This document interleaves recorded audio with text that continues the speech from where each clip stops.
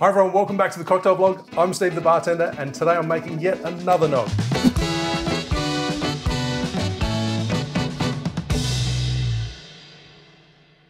So in the same traditions as my last couple of videos, last year I stole Leandro from the Educated Barfly's nog. Uh, this year, a couple of days ago, I stole the one from uh, Clyde Common or Jeffrey Morgenthaler's signature nog. And this year I'm stealing Sarah Morrissey's from the Ernesto Bar in New York City. This one is probably a little bit different to the other couple of nogs that I've featured.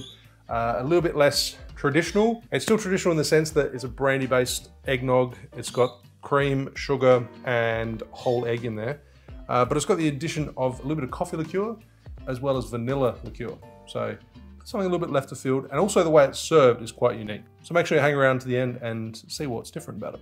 Well, you'll see a thumbnail anyway. you'll see a thumbnail anyway, so you already know exactly what the cocktail looks like. It's served over ice in an old fashioned glass or a rocks glass with a sprig of mint, which is pretty unusual for an eggnog. But I have high hopes for this cocktail.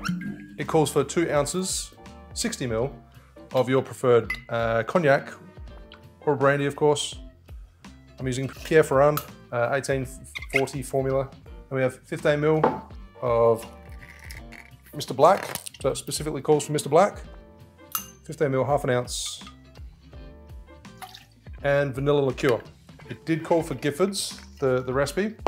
There's nowhere locally that I can quickly get a bottle of Giffards and I really wanted to make this nog. So uh, it was actually easier for me to make my own vanilla liqueur. So this is a blend of vodka, brandy, sugar, or like a, a syrup, a cane sugar syrup, and obviously vanilla. So it's got fresh vanilla beans in there and it tastes absolutely delicious. If you would like this recipe, I'll leave a link in the description so you can, uh, so you can download it. 15 mil, half an ounce.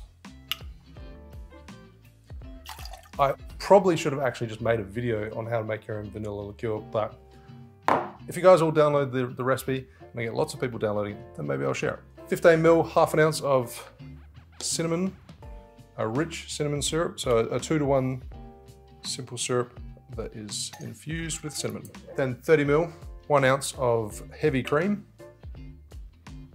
or in Australia we call it full cream, and a whole egg. So fill your, fill your shake with ice and give it a shake. Of course, it's got egg in there. Make sure you use a fresh egg. You definitely want to use a fresh egg and give it a hard shake.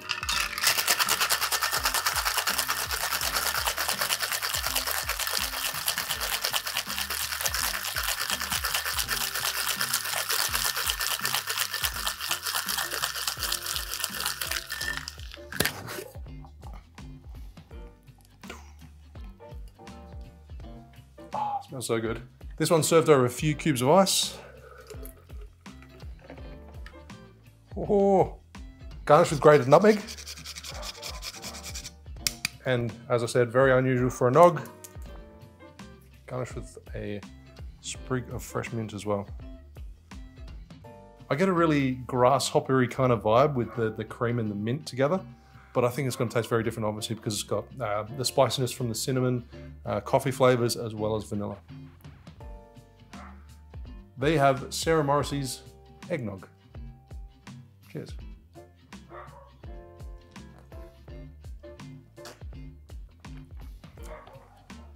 Whoa, that's intense. That's pretty boozy.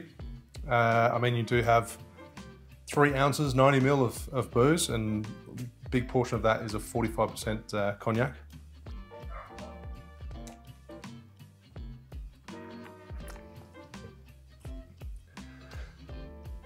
This is a delicious drink uh, as uh, a single serve eggnog, as a, a, readily made one that just takes a couple of minutes to, to smash out. But I would have to say that I do prefer uh, Jeffrey Morgenthaler's basic or base eggnog recipe as well as his tequila and sherry recipe, purely because you make it ahead of time. And it has this, and you, you beat the eggs, you beat the sugar into the eggs. Make sure you check out that recipe up here and in the description. Because of the process and the lack of water in the drink from dilution through shaking, it's got this thick vis viscosity. This is a very tasty drink, don't get me wrong. My eggnog, I'm, I'm a big fan of Jeffrey Morgenthaler's recipes. So make sure you check that out. And if you want to, compare it to this, compare it to Leandro's recipe that I did last year as well. I'll leave a link to all of them so you can compare. If you enjoyed today's video, make sure you give us a thumbs up. Otherwise, I'll see you soon for another cocktail video. Cheers.